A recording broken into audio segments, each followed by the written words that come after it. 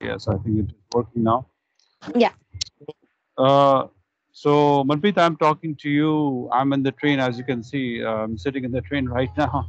Uh, Oh. I remember, I I remember that your husband had an interview yesterday, and uh, we did little consultation or preparation. I think few uh, few days ago or m- a week ago. What was the case? What was the problem that you were facing, and what what happened in the interview?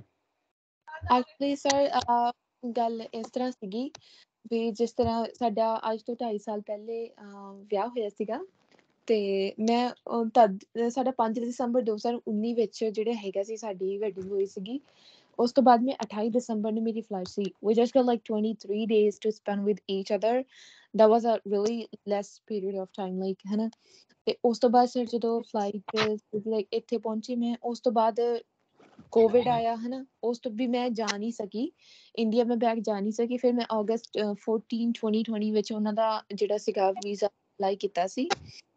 ਤੇ then sir ਕੋਈ update ਨਹੀਂ ਆਈ ਹੈਗੀ। Then like suddenly ਉਹਨਾਂ ਨੇ February 10 yeah 10 of feb like 2021 2022 like almost uh, ਇੱਕ ਸਾਲ ਉਹਨਾਂ ਨੇ 7 ਮਹੀਨਿਆਂ ਬਾਅਦ ਅਮ ਜਿਹੜਾ ਸੀਗਾ ਮੈਡੀਕਲ ਪਾਸ ਕੀਤਾ। ਤੇ ਉਸ ਤੋਂ ਬਾਅਦ ਇਹ ਸੀਗਾ ਵੀ ਸਾਨੂੰ ਇਹ ਸੀਗਾ ਵੀ ਚਲੋ ਹੁਣ ਉਹਨਾਂ ਨੇ ਦੇ ਦੇਣਾ ਰਾਈਟ ਵੀਜ਼ਾ ਆਲਰੇਡੀ ਸਾਨੂੰ 2.5 ਸਾਲ ਹੋ ਚੁੱਕੇ ਸੀਗੇ ਤੇ ਵੀ ਇੱਥੇ ਆਈ ਨੂੰ ਵੀ ਮੈਨੂੰ ਪਰ ਮੈਨੂੰ ਫਾਈਲ ਲਗਾਈ ਨੂੰ ਜਿਹੜੇ ਸੀਗੇ 1 ਸਾਲ 7 ਮਹੀਨੇ ਹੋ ਚੁੱਕੇ ਸੀਗੇ ਕੋਈ ਰਿਜ਼ਲਟ ਨਹੀਂ ਗਿਆ ਨਥਿੰਗ ਵਾਸ देयर ਤੇ ਉਸ ਤੋਂ ਬਾਅਦ ਜਿੱਦਾਂ ਇਹ ਸੀਗਾ ਵੀ ਹੁਣ ਰਿਜ਼ਲਟ ਦੇ ਦੂਗੇ ਕੋਈ ਪਰ ਉਸ ਤੋਂ ਬਾਅਦ ਇਹ ਹੋਇਆ ਵੀ ਉਹਨਾਂ ਨੇ ਮਾਰਚ ਸੌਰੀ April ਯਾ April, like uh, 2022 ਨੂੰ ਉਹਨਾਂ ਨੇ ਸਾਨੂੰ ਇੰਟਰਵਿਊ ਦਿੱਤੀ ਸੀ। April 2022 ਯਾ 2022 ਦੇ ਵਿੱਚ। ਉਹਨਾਂ ਨੇ ਇੰਟਰਵਿਊ ਲਾਈਕ ਆਈ ਸੀ ਈਮੇਲ ਕਿ ਤੁਹਾਨੂੰ ਇੰਟਰਵਿਊ ਬੁਲਾਇਆ ਜਾ ਰਿਹਾ। ਜਿੱਦਾਂ ਕੇਸ ਇਹ ਸੀਗਾ ਵੀ ਕਾਫੀ ਮੈਂ ਆਵਰ ਸ਼ੌਕ ਲਾਈਕ ਹੈ ਨਾ ਕਿ ਲਾਈਕ ਕੀ ਕਿਹਾ ਜਾਵੇ ਹੁਣ ਵੀ ਐਜ਼ ਮੇਥੋਂ ਇੰਡੀਆ ਵੀ ਨਹੀਂ ਜਾ ਹੋਇਆ ਸੀ।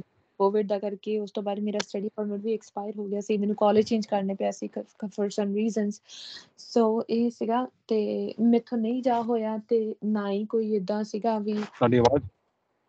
ਹੈਲੋ ਆਵਾਜ਼ ਕੱਟ ਰਹੀ ਹੈ ਲੈਟਸ ਕੀਪ ਇਟ ਸ਼ਾਰਟ ਯਾ ਆਵਾਜ਼ ਕੱਟ ਰਹੀ ਹੈ let's keep it short what was what was the questions being asked in the interview ਆਓ ਸਰ um ਉਹਨਾਂ ਨੇ ਲਾਈਕ ਮੇਰੇ ਮੇਰੇ ਮੇਰੇ ਬਾਰੇ ਜ਼ਿਆਦਾ ਉਹਨਾਂ ਤੋਂ ਮੇਰੀ ਸਟੱਡੀ ਬਾਰੇ ਲਾਈਕ ਕਿਸੇ ਨੂੰ ਕਾਲਜ ਜਾਂਦੇ ਆ ਕਾਲਜ ਦੀ ਘਰ ਤੋਂ ਦੂਰੀ ਕੀ ਆ ਲਾਈਕ ਟਾਈਮਿੰਗ ਕੀ ਆ ਕਲਾਸਿਸ ਦੀ, ਕਿਹੜੇ ਕਿਹੜੇ ਦਿਨ ਕਲਾਸਿਸ ਹੁੰਦੀਆਂ ਨੇ ਰਾਈਟ ਤੇ ਉਹਨਾਂ ਨੇ ਐਡਰੈਸ ਜਿੱਦਾਂ ਕੰਮ ਦਾ ਐਡਰੈਸ ਪੁੱਛਿਆ ਤੇ ਉੱਥੇ ਜੌਬ ਟਾਈਟਲ ਪੁੱਛਿਆ ਲਾਈਕ ਪੇ ਪੁੱਛਿਆ ਰਾਈਟ ਜੌਬ ਉਹਨਾਂ ਨੇ ਮੰਗਿਆ ਤੇ ਆਨਲਾਈਨ ਜਿਹੜੀ ਕਨਵਰਸੇਸ਼ਨ ਚੱਲ ਰਹੀ ਹੈ ਮੇਰੇ ਨਾਲ, ਉਹ ਲਾਈਕ ਵੀਡੀਓ ਕਾਲਸ ਤੇ ਅਸੀਂ ਕਰਦੇ ਹਾਂ ਤਾਂ ਉਹਨਾਂ ਦੇ ਪ੍ਰੂਫ ਦਿਓ ਸਾਨੂੰ, ਹਨਾ? ਤੇ ਜੋ ਵੀ ਤੁਹਾਡੀ ਆਨਗੋਇੰਗ ਜਿਹੜੀ ਕਮਿਊਨੀਕੇਸ਼ਨ ਤੁਹਾਡੀ ਹੋ ਰਹੀ ਆ, ਉਹਦੇ ਪ੍ਰੂਫ ਉਹਨਾਂ ਨੇ ਮੰਗੇ ਸੀਗੇ।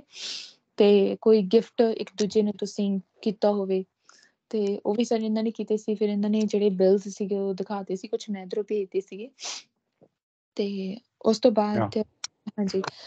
ਤੇ ਲਾਈਕ ਜ਼ਿਆਦਾ ਨਹੀਂ ਬਟ ਉਹਨਾਂ ਨੇ ਮੇਰੇ ਸਟੱਡੀ ਪਰਮਿਟ ਤੇ ਥੋੜਾ ਕੁਝ ਜ਼ਿਆਦਾ ਕੀਤਾ ਸੀ। ਉਹਨਾਂ ਨੇ ਅਪਡੇਟ ਕੀਤਾ ਸੀ। ਫਿਰ ਤੇ ਉਹ ਕਹਿੰਦੇ ਵੀ ਫਿਰ ਲਾਈਕ ਸਟੱਡੀ ਪਰਮਿਟ ਤੁਸੀਂ ਕਿਉਂ ਐਕਸਟੈਂਡ ਕੀਤਾ what was the reason ਤੇ ਪਹਿਲੇ ਕਦੋਂ ਨਹੀਂ ਸਟੱਡੀ ਕਰਕੇ ਹੋਈ ਜਸਟ ਸਟੱਡੀ ਪਰਮਿਟ ਨੂੰ ਲੈ ਕੇ ਥੋੜੇ ਜ਼ਿਆਦਾ ਕੁਐਸਚਨ ਬਣੇ ਸੀਗੇ ਤੇ ਯਾ ਇਸ ਤਰ੍ਹਾਂ ਸੀ there were there were some there were some concerns that we identified jointly one is there's a 7 year age gap between husband and wife yeah uh, that was it uh, second that was actually 10 years gap second second oh, okay. So there there's a 10 year uh, age gap between the cou- in the couple.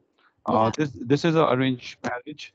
This yeah. is also uh, so uh, uh, no ha- cohabitation. That means as soon as the marriage is, was done you you left. Uh, you did not have sufficient time to spend with your husband. That's that was second. Yeah. uh, you had only you had only limited photographs. Your honeymoon itself was very limited and brief Mhm. uh, and uh, that was pretty much it. Uh, you, you, I think, uh, you were introduced or met two months before the marriage. Is that right? yeah two months before the marriage like yeah Two I- months back. So these yeah. were these were the these, these were the concerns that we identified, and um, Yeah.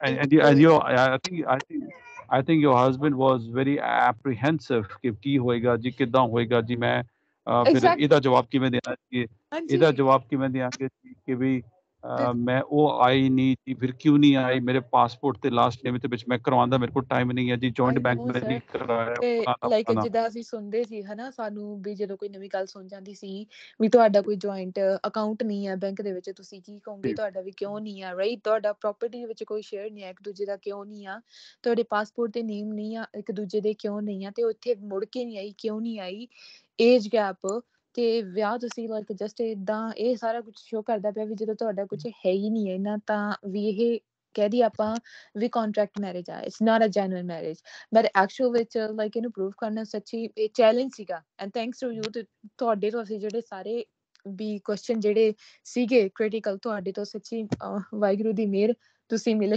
And and time ਤੇ thank you so much for you ਤੇ ਤੁਸੀਂ ਦੋ ਵਾਰੀ ਕੀਤਾ session yeah how much money how much money did you pay for uh, for this consultation for this um just 375 little amount i would say ਬਹੁਤ Ah, ਘੱਟ ਸੀ wow ਯਾ ਤੁਸੀਂ ਦੋ ਵਾਰੀ ਸੈਸ਼ਨ ਵੀ ਕੀਤਾ Yeah. ਤੇ That's right. That's right. So so three three hundred and seventy five dollars, two Yeah. sessions.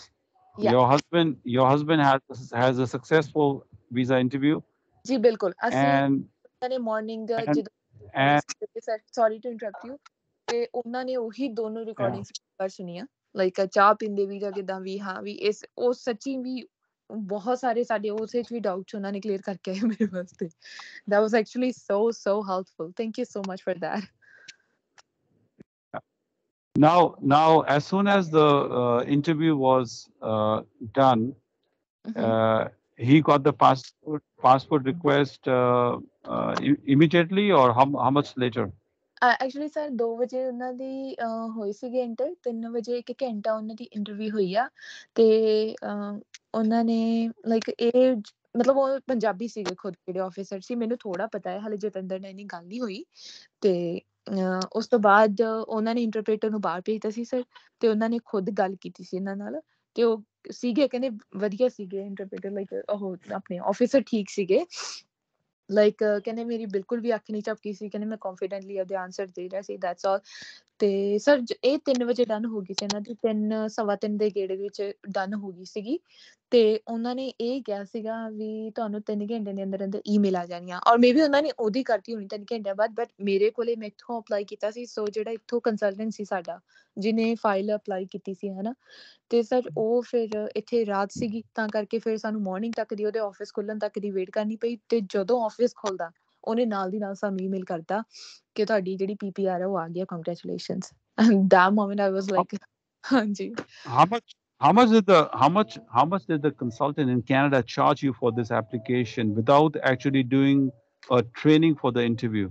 Yeah sir ਉਹਨਾਂ ਨੇ ਕੋਈ ਟ੍ਰੇਨਿੰਗ ਨਹੀਂ ਕੀਤੀ। ਆਈ ਵਿਲ ਸੇ ਉਹਨਾਂ ਨੇ ਲਾਈਕ ਬਿਲਕੁਲ ਵੀ ਨਹੀਂ। ਅਸੀਂ ਜਸਟ ਉਹਨਾਂ ਤੋਂ ਫਾਈਲ ਮੰਗੀ ਹੈ ਨਾ? ਉਹ ਵੀ ਬੜੇ ਝਿਜਕ ਕੇ ਉਹਨਾਂ ਨੇ ਉਹ ਕੀਤਾ ਤੇ ਪਰ ਉਹਨਾਂ ਨੇ ਕੀਤਾ ਸੀਗਾ 850 ਡਾਲਰ ਜਾਂ 850 dollar sir 850 Yeah. Most most consult most consultants in Canada they do not train people. They do they have no attention or no focus on the interview preparations. ਉਹਨਾਂ ਦਾ ਕੰਮ ਹੈ ਕਿ ਵੀ ਫਾਈਲ ਨੂੰ ਟਾਈਪ ਕਰਕੇ ਜੀ photo attach ਕਰਕੇ ਜੀ ਭੇਜ ਦਿਓ ਜੀ ਗਿਆ ਤੇ ਗਿਆ ਫਿਰ who cares? We don't care whatever that is.